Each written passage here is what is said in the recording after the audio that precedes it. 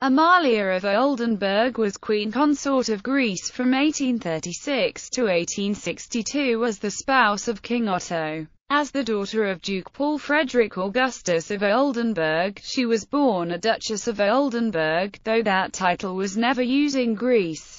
When she arrived in Greece in 1837, she at first won the hearts of the Greeks with her refreshing beauty. After the queen became more politically involved, however, she became the target of harsh attacks, and her image suffered further as she proved unable to provide an heir. She and her husband were expelled from Greece in 1862, after an uprising. She spent the rest of her years in exile in Bavaria. Early life Duchess Amalia Maria Frederica was born on 21 December 1818 in Oldenburg, capital of the Grand Duchy of Oldenburg. She was the first child of Duke Paul Frederick Augustus of Oldenburg and his first wife Princess Adelheid of Anhalt-Bernburg-Schaumburg-Hoym. Marriage On the 22nd of December 1836, Duchess Amalia of Oldenburg married King Otto of Greece in Oldenburg. Born as the second son of King Ludwig I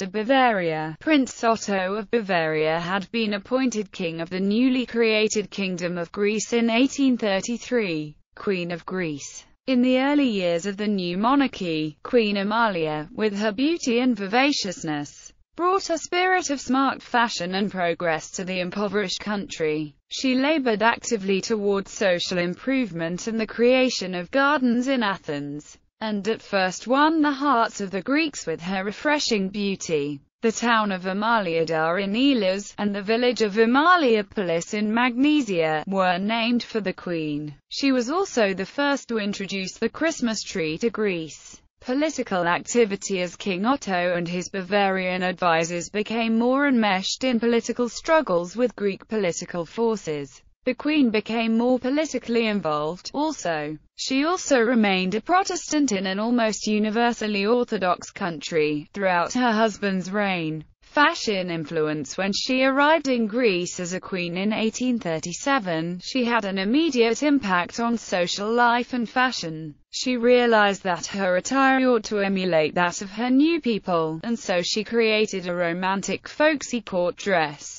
which became a national Greek costume still known as the Amalia dress. It follows the Biedermeier style, with a loose-fitting, white cotton or silk shirt, often decorated with lace at the neck and handcuffs, over which a richly embroidered jacket or vest is worn, usually of dark blue or claret velvet. The skirt was ankle-length, unpressed pleated silk, the color usually azure. It was completed with a soft cap or fez with a single, long, golden silk tassel, traditionally worn by married women, or with the kalpaki of the unmarried woman, and sometimes with a black veil for church. This dress became the usual attire of all Christian townswomen in both Ottoman Empire-occupied and liberated Balkan lands as far north as Belgrade. Assassination attempt In February 1861, a university student named Aristides Dosios unsuccessfully attempted to assassinate the queen. He was sentenced to death but the queen intervened, and he was pardoned and sentenced to life imprisonment.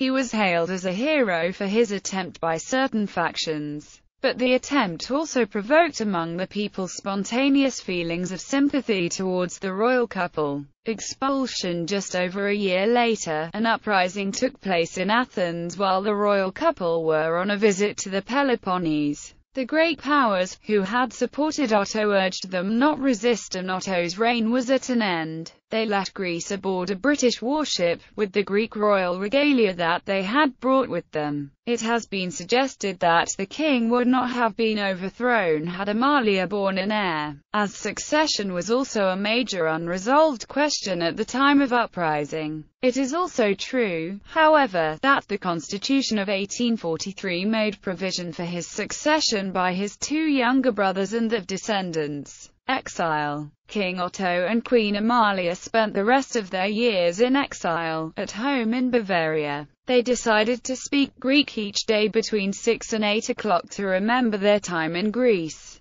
Death King Otto died in 1867. Queen Amalia survived her husband by almost eight years and died in Bamberg on 20 May 1875. She was buried beside the king at the Theatinerkirche in Munich. She was found post-mortem to have suffered from Müllerian agenesis, a congenital malformation in women characterized by a failure of the paramesonephric duct to develop, resulting in a missing uterus and fallopian tubes. Titles the 21st of December 1818 to 20 May 1875, Her Highness Duchess Amalia of Oldenburg, Princess of Holstein-Gottorp. The 22nd of December 1836 to 23 October 1862, Her Majesty the Queen of Greece. The 23rd of October 1862 to 20 May 1875, Her Majesty Queen Amalia of Greece. Ancestry